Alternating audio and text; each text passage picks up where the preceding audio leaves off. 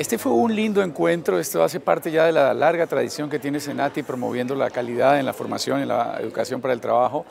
en la que ya unos dos o tres ocasiones anteriores hemos venido. En esta ocasión eh, me voy con una linda impresión como en las otras, pero ha sido muy, muy interesante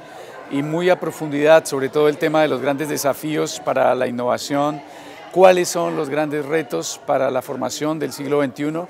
Hemos visto cómo, junto con el informe de Sinterfor sobre el futuro de la formación profesional, en el cual apuntamos claramente a enfatizar cómo los objetivos de desarrollo del milenio buscan que las personas tengan un desarrollo inclusivo, sostenible y sostenido a partir del empleo y cómo ese empleo se concentra en mejores habilidades. Se encuentra a partir del trabajo que hacen las instituciones como el SENATI y del trabajo que hacen claramente en función de mejorar las capacidades y habilidades de las personas. El trabajo que el SENATI está haciendo, eh, la buena noticia que nos dio su director sobre la creación del TEC SENATI está marcando un hito, un paso adelante, sin duda, en la región hay que cualificar mejor la formación, hay que escalar la complejidad de las competencias que las personas adquieren